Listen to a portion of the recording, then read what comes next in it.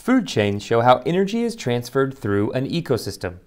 In this food chain, we can see that energy is transferred from the tomato plant to the aphid, to the lady beetle, and to the spider. Food webs show how multiple food chains fit together. Now I can still see the food chain that we just looked at here, showing energy going from the tomato plants to the aphids, to the lady beetle, to the spider. But this food web gives me a more complete picture of what's going on in this ecosystem. The arrows in food chains and webs show how energy moves from one organism to the next. So here we see a cricket being eaten by a lizard. So I'll point my arrow from the cricket to the lizard.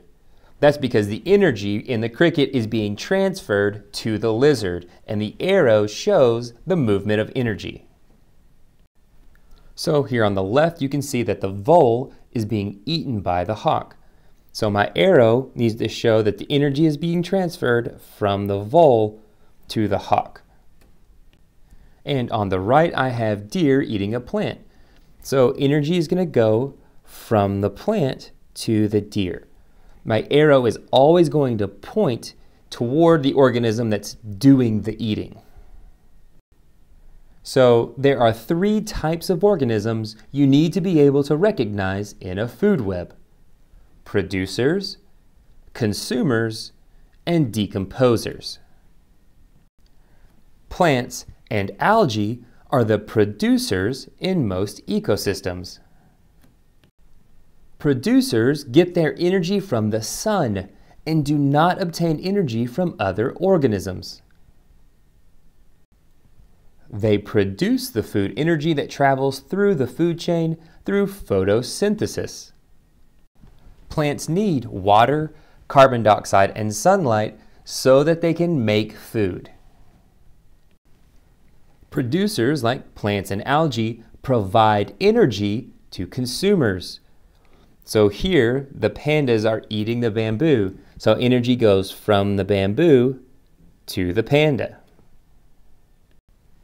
Every food chain starts with a producer. That producer could be a plant or algae, but there will always be a producer at the beginning of a food chain or food web.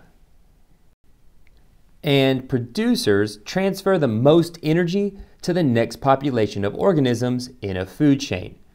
So you can see the energy pyramid here. The most energy goes from the producers, the plants, to the next organism, and then each level gets less and less as energy is lost to the environment as heat and trapped in the bodies of dead and decaying organisms.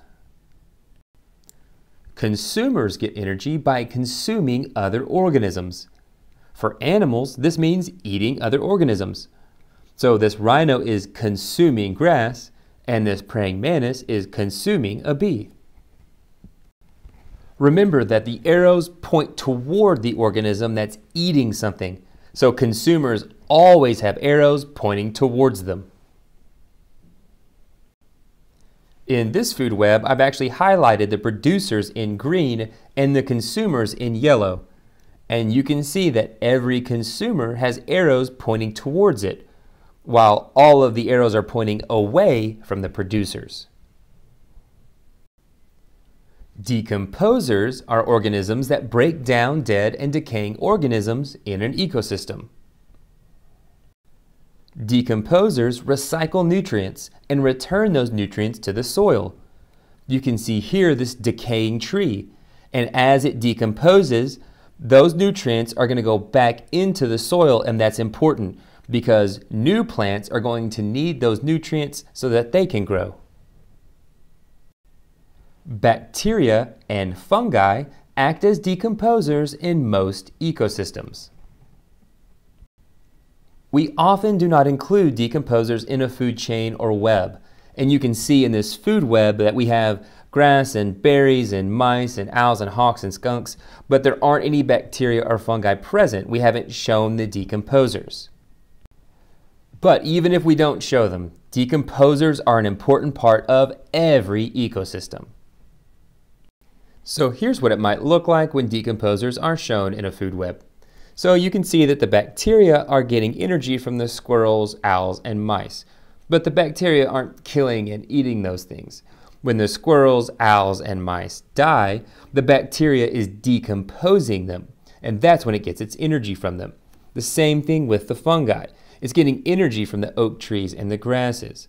But when dead leaves and branches from those oak trees fall or the oak trees die, that's when the fungi are consuming them and getting energy from them. They're decomposing the dead organisms in this ecosystem. So I hope that helps you understand producers, consumers, and decomposers a little better. Keep up the great work, and I'll see you next time.